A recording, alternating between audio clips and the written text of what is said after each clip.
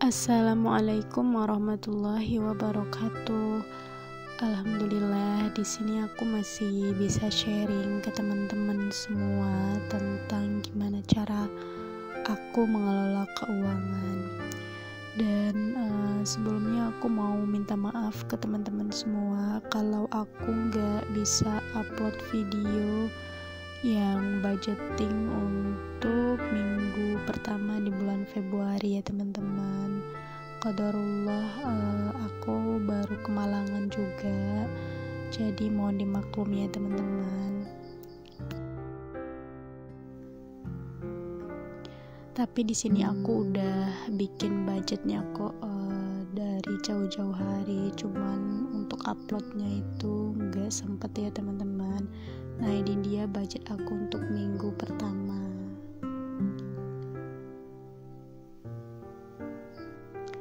Oh ya teman-teman, kabarnya gimana nih? Semoga selalu dalam keadaan sehat dan selalu dipermudah segala urusannya oleh Allah Subhanahu wa taala.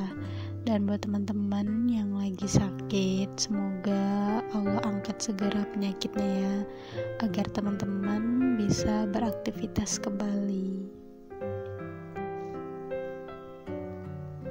Dan uh, terima kasih banyak buat teman-teman yang subscribe, like, dan komen.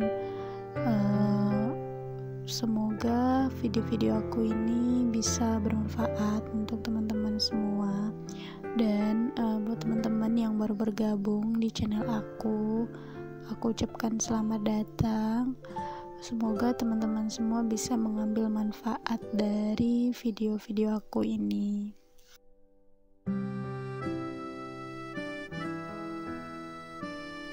Seperti biasa ya teman-teman, sesuai dengan judul, aku bakalan buat uh, budget review untuk minggu pertama di bulan Februari ini. Nah, di sini aku lagi buat uh, tabel untuk catatannya ya teman-teman.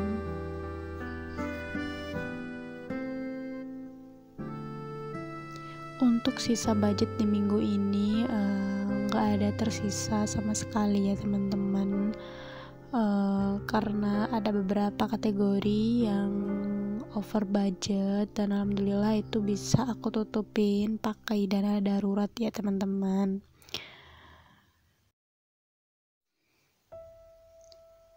Untuk pendapatan uh, suami aku sendiri itu kadang-kadang uh, naik kadang-kadang turun ya teman-teman tapi insya Allah alhamdulillah uh, bisa cukup untuk memenuhi kebutuhan hidup. Dan uh, ini aku lagi buat uh, kategori yang pertama itu ada beras. Aku budgetkan 110.000 dan aktual juga 110.000 kemudian untuk token listrik itu 52.000 dan aktual juga 52.000 kemudian untuk gas juga 20.000 untuk galon 15.000 kemudian belanja bulanan 20.000 untuk orang tua 50.000 internet 20.000 kemudian untuk makan sini aku budgetkan 150.000 ternyata aktualnya itu adalah 174.000 ya teman-teman. Jadi di sini aku minus sebesar 24.000 kemudian untuk transportasi yang awalnya aku budgetkan 20.000 ternyata aktualnya itu 25.000 dan di sini aku juga minus sebesar 5.000 nah untuk uh, jatah jajan di sini aku juga minus ya teman-teman. Yang awalnya itu aku budgetkan 25.000 ternyata aktualnya itu adalah 35.500 jadi di sini aku minus sebesar 10.500 dan yang terakhir itu ada sedekah jaga-jaga dan saving. Itu nggak ada sisanya ya teman-teman. Uh, dan di bawahnya ini aku juga bikin catatan kalau pengeluaran di minggu ini banyak sehingga ada beberapa kategori yang over budget. Ini tuh gunanya sebagai pengingat uh, aku ya teman-teman kalau uh, kondisi keuangan aku di minggu pertama ini uh, over budget jadi aku bisa uh, rubah lagi atau bisa mengontrol untuk di minggu-minggu berikutnya.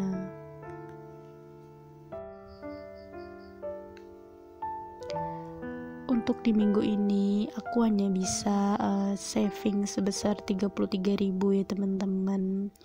Karena aku uh, lebih mendahulukan kebutuhan dulu. Nah sisanya itu baru aku tabung ya teman-teman. Sebenarnya sih untuk tabungan ini harusnya itu di awal ya teman-teman.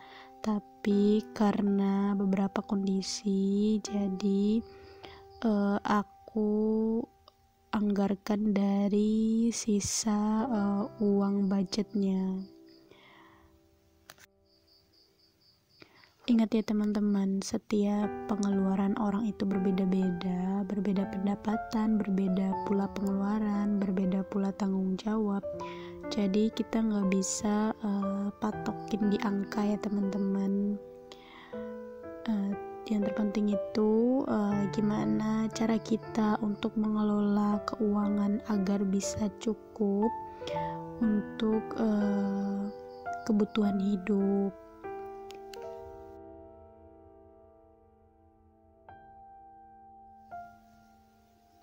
Sampai di sini dulu video aku kali ini. Semoga bisa bermanfaat untuk teman-teman semua. Terima kasih buat teman-teman yang udah nonton video aku sampai selesai. Dan jangan lupa untuk uh, like dan subscribe-nya ya teman-teman.